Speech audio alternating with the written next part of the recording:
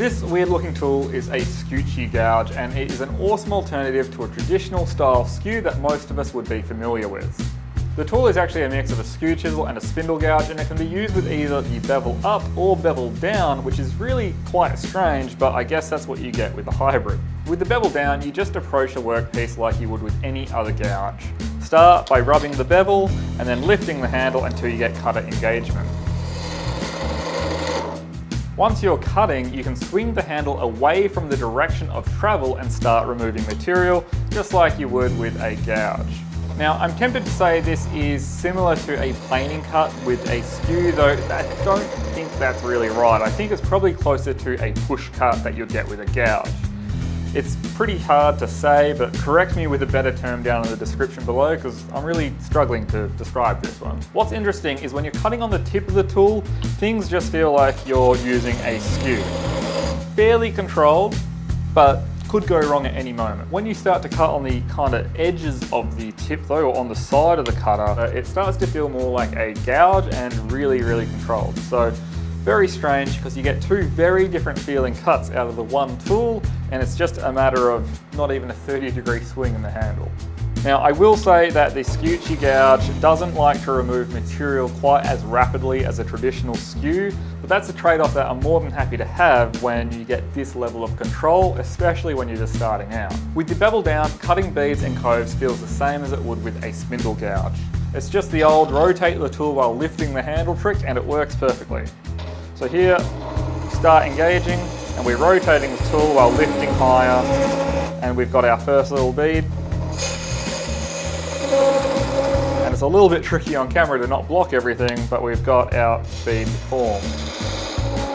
Flipping the tool to have the bevel up makes the tool feel a bit more like a traditional skew in the sense that things could go wrong with a catch at any time. And just like a skew, you set the tool a little bit higher on the workpiece and just take a light cut.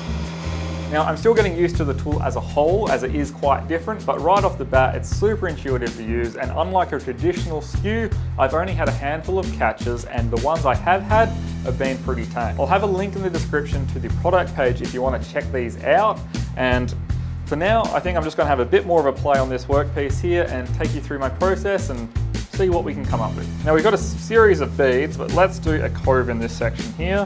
So for that, I'll lower the tool rest a hair because I had it set up for the skew. And we'll come in with our tip and just flatten the tool out a little bit.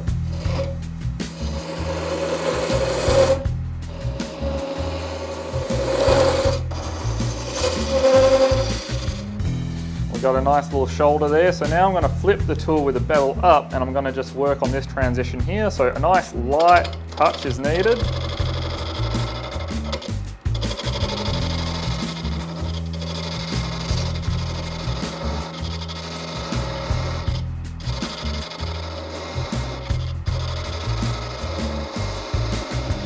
Now I've got the tool on quite a low position with the angle, so a steep angle, but that seems to be working nicely here.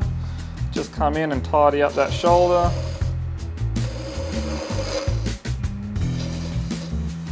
we might even just increase that cove a little bit.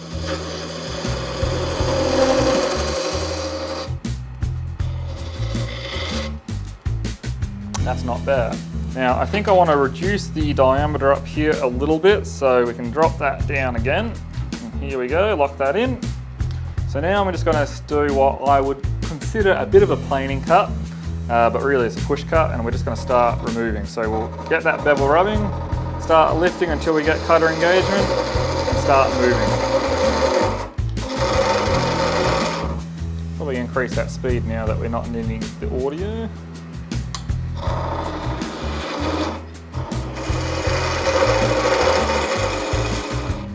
Now to get these nice smooth transitions here, like you're doing kind of a, a table leg or something, I'm starting the tool almost vertical, so the bevels and the flat edge are up and down. From there, once I've got the engagement and get to a skinnier diameter, I lift the handle a hair and I also rotate the tool to be flatter. So it's one smooth motion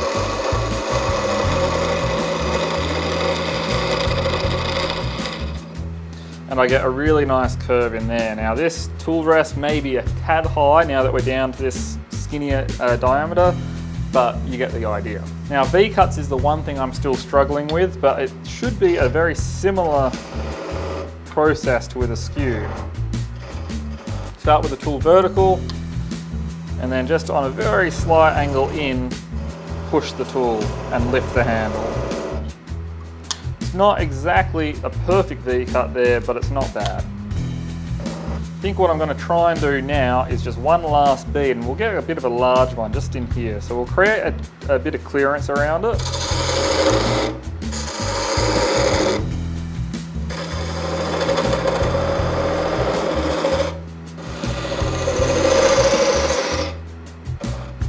Now then, we could do it with the bevel down and just rolling the tool, but let's try and get a catch, or not get a catch and do it with the bevel up. So tool rest is slightly higher. We'll start with just a very light amount of engagement.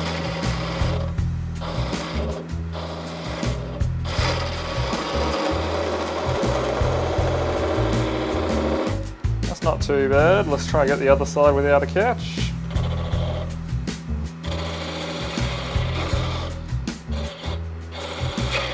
Oh, there's a catch there, but not too bad.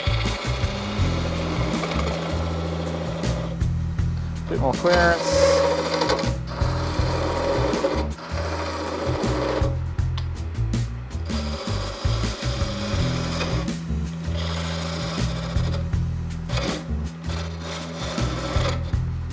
Alright, so I'm getting a few catches there. I think it could be my grind though. So not quite as controlled, but still not too bad. If that was a skew, I guarantee you this thing would have been catching like crazy. All right, well, I think that will do it. You can see how this could easily have shaped a table leg or something along those lines. Beads and coves are pretty consistent. Got a couple of catches in there, but we wanted that. I would say it was intentional, but it wasn't. Uh, but as far as a tool that I've only picked up for the first time yesterday, pretty good running so far. Now, if you've enjoyed this video, make sure you hit that thumbs up button. Links are in the description to these products, so make sure you check them out if you want more info. And like always, thanks for watching, subscribe, all of that junk, and we'll see you next time. Thanks guys.